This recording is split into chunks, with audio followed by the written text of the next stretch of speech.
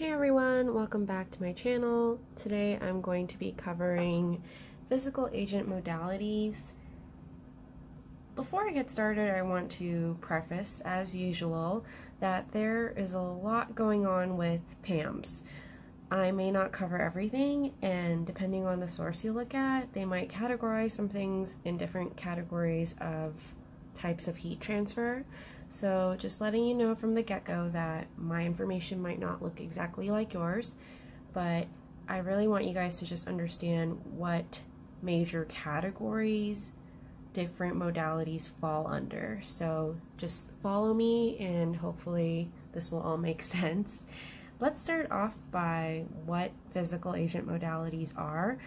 AOTA defines it as equipment including superficial and thermal agents electrotherapeutic, and mechanical agents. Now, PAMs can be used at entry level, but some states require additional uh, certification. So you might need to finish a certain level of competence or a PAM certification to utilize modalities with your patients and clients. I, for example, practiced PAMs all the time when I was in a rotation in Arizona in an outpatient hand setting, but in California, for example, you need to get certification before you can practice this. So, depending on the state you're in, that's going to vary. And PAMS is a preparatory method, so it is not used alone as OT intervention, but it is used to support OT activities. And that makes sense because we are using a lot of different thermal agents such as hot packs to help make the muscles feel looser, warm up the tissues, and that's going to prepare for, let's say, range of motion exercises. So it's preparatory in order to support the hands on exercises you may be doing to facilitate activities of daily living. I'm to go ahead and start with types of heat transfer. I was pointing here and I'm like, okay, let's start here. So types of heat transfer is just a breakdown of the different kinds of heat transfers that are out there. And there are four. Conduction is just the idea of heat transferring, so a hot pack or paraffin wax would be an example. Convection is similar, but what we're doing is using the heat to get to the tissues through a fluid motion. So that would include fluidotherapy and whirlpool. Sometimes I see whirlpool under conduction. I think it's because both of them are heat related. So again, depending on your source, you might see that differently. The third one is radiation, which is pretty straightforward, laser. And conversion is the last one, which would include things like ultrasound and cryotherapy and that's using heat from, or transferring heat from internal friction. So let's get started with the different types of agents, starting with superficial. So as the word superficial would indicate, it's a lot more of a shallow level of heat. So we're thinking like centimeters. And if we apply something like a hot pack to the top of your skin, then it's going to radiate the effects into your skin by a certain amount of centimeters and it is superficial. So hot packs, cold packs, paraffin wax, whirlpool, fluidotherapy, and infrared are all thermal agents that are superficial. I feel like hot packs and cold packs are pretty straightforward. I just indicated certain things that it helps with. So hot packs would increase blood flow, it would increase healing. Cold packs are good with decreasing swelling and decreasing acute pain. Paraffin wax is going to decrease stiffness as well as pain. And when I think paraffin wax, the first thing I think of is arthritis. That is what I use the most for arthritis patients because it's so good for just really warming up all those tissues in your hands and getting them nice and just like lubricated to move. So that's what I think of for paraffin wax. Whirlpool is for wound care, so oftentimes you'll hear that it's used for debriding and cleaning um, to help like a wound heal. Fluidotherapy is to decrease pain and increase mobility for small body parts. It's specific to small body parts because if you ever see what that machine looks like. It uses cornmeal or corn husk and it spins rapidly inside and you can stick either an arm or a leg into the machine and that's how it works. And I don't have too much experience with infrared, but that one decreases pain and tightness. So some of the few contraindications for using superficial thermal agents are listed down here.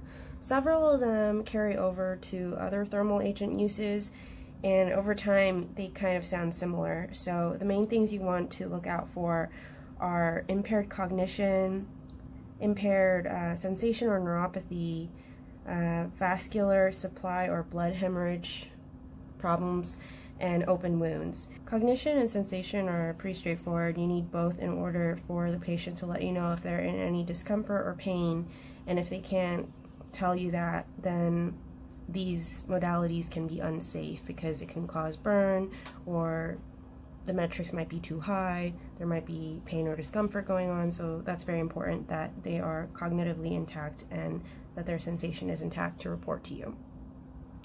Overall, malignancies and acute inflammatory conditions, as well as cancer, are contraindications as well.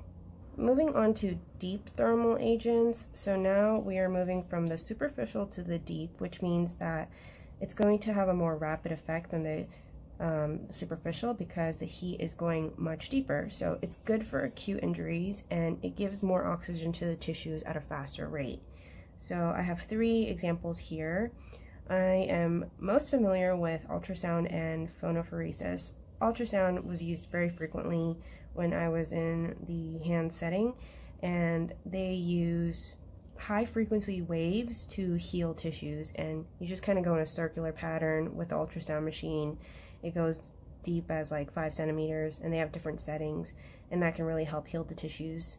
And there's also phonophoresis and this one is a combination of ultrasound and what we do is we use a topical medication and mix it together to help decrease inflammation. So phonophoresis is cool because you get all the benefits of the ultrasound, but then you also get like a topical steroid or some kind of medication that's going to help relieve pain as well. The third one is diathermy. I'm unfamiliar with this one, but this one uses a high frequency electromagnetic energy to decrease swelling and increase range.